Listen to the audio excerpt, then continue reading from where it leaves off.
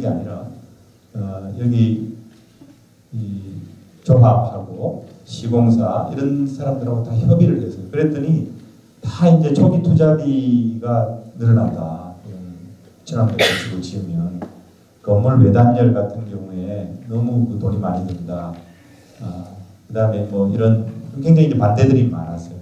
근데 설득시키고 아주 아주 그 핵심적인 외단열 부분에서는 뭐 권장사항 이런 걸 두면서 이게 민간 아파트니까 우리 뭐 공공에서 짓는 거면 예산을 투자하면 되는데 민간 아파트니까 음, 건축 허가나 이런 행정 그 권한을 가지고 조건을 내걸고 이제 이런 걸 만, 만들었던 거죠. 근데 에, 해서 어, 조합 관계자 경제 시공자 의견 수렴을 해가지고 10개의 우상으로 되어 있던 것을 권장 사항으로 조정하면서 조정하면서 이 2010년도 2월 달에 저희는 친환경 공동체 가이드라인을 만들게 됐습니다. 그래서 여기 이제 그 구체적인 뭐 이런 가이드라인 그런데요.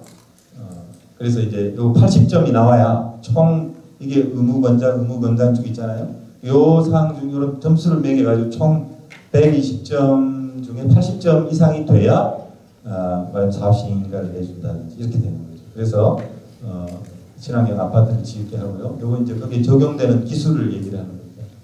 어, 쭉 넘어가시죠. 그래서 이제 이거를 요게 이제 그때 2010년도부터 준비한 것을 최근에 이제 6개월 동안 준비를 CI를 만들었어요. 그래서 어, 강동구 저에너지 친환경 공동주택 그래서 이로움 이렇게 CI를 만들어서 아파트 단지가 완성이 되면 이걸 정문에다가 이렇게 붙이는 거죠. 그리고 곳곳에다가 이런 CI를 사용을 해서 우리 아파트는 어, 저에너지 친환경 공동주택이다 이런 것을 에, 사용할 수 있도록 그래서 전체 에, 어, 재건축 추진하는 분들한테 이렇게 아홉 개 단지 인증서를 교부를 했습니다.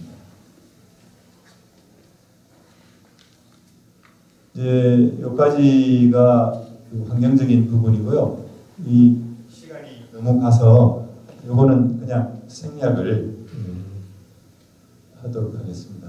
그 이게 이제 예, 그 이제 경, 그 아까 말씀드린 우리 저 강동구 전략의 두 번째 예, 자족 기능 강화 부분. 요, 요, 요 지도에서 다 설명드릴 수 있을 것 같아요. 음, 우리 노무현 참, 참여 정부 때 예, 강일지구, 강일지구 1지구, 2지구가 아, 국민 임대주택 단지로 개발이 됐습니다. 이, 이 국민 임대주택 단지로 개발된 예, 이 여기에 첨단 업무 단지라고 하는 자족용지를 약 5만 평방미터 정도로 확보를 해가지고 여기에 10개 기업을 유치를 했습니다. 대표적인 기업이 삼성엔지니어 본사를 유치를 했고요. 그래서 지금 거의 마무리 이 단계에 있습니다.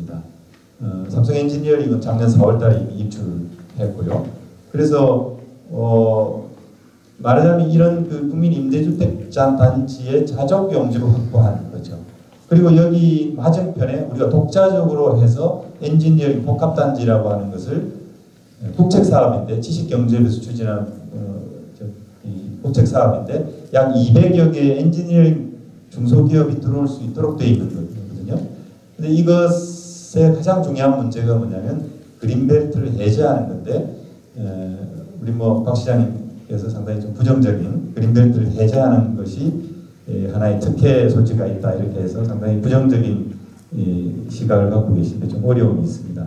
근데 다만 이것은 우리가 어, 국책 사업으로 추진한 거, 하는 것을 의왕 과천 시와 경합을 벌여서 우리가 유치한 것인데 상당히 좀뭐 어, 우리 우리 논리를 갖추어서 계속 지금 의견을 제시를 하고 있고요.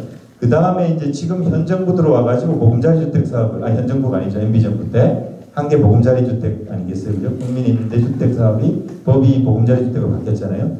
그래서 이 고덕 강일 보금자리가 세 군데로 이렇게 나눠져 있는데 이 노랗게 진, 진하게 표시된 세 군데로 나눠져 있는 건데 이것을 우리 구가 처음에는 반대를 하고 시위를 하고 뭐, 뭐 굉장히 그 했죠. 그런 다음에 과천하고 같이 했는데 과천은 그 여인국 시장께서 이제 내무부 관료 출신이시고 하다 보니까 또 과천에 있는 정부 청사들이 다 세종시나 이런 데로 가고 도시 공동화 현상이 생기, 생기니까 인구가 많이 줄어들고 그래서 보금자리를 아 그럼 보금자리가 들어오면 인구가 늘어나겠구나 해서 거의 보금자리 유치를 하다시피 한 거예요. 근데 과천 시민들 특히 거기도 재건축 사- 단지가 많은데 재건축 시장의 악화를 우려한 주민들이 그 시장의 방침에 반발을 해가지고 주민소환 투표까지 했잖아요. 그래서 정치적으로 굉장히 이제 어려움을 겪었는데 사실 우리 구도 비슷한 여건이었지만 제 입장에서는 이 강일 지구가 그린벨트를 풀어가지고 대단히 주택단지가 만 세대가 넘는 주택단지가 돼 있는데 또 이렇게 주택 보금자리를 하면은 전체가 이게 말하자면 그 임대주택 단지가 되는 거 아니냐. 한 곳에 이렇게 집중해서는 안 된다. 그리고 여기 지금 요게 시계인데 여기가 어디냐면은 하남 미사보금자리입니다.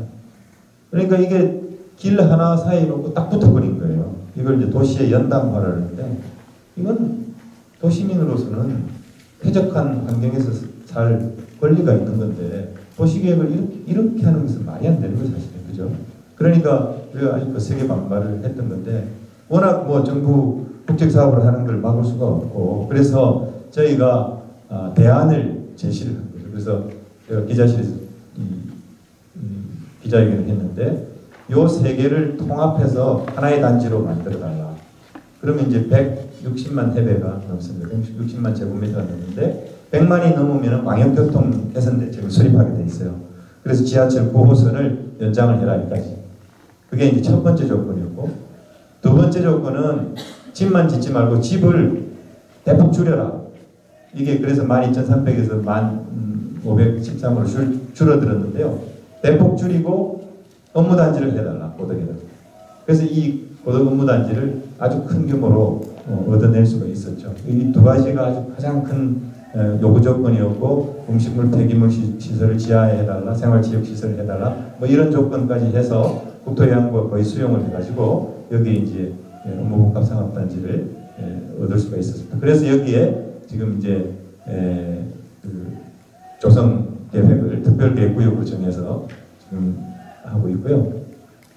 이 지하철 9호선이 이렇게 연장이 여기까지 지금 발표가 났습니다.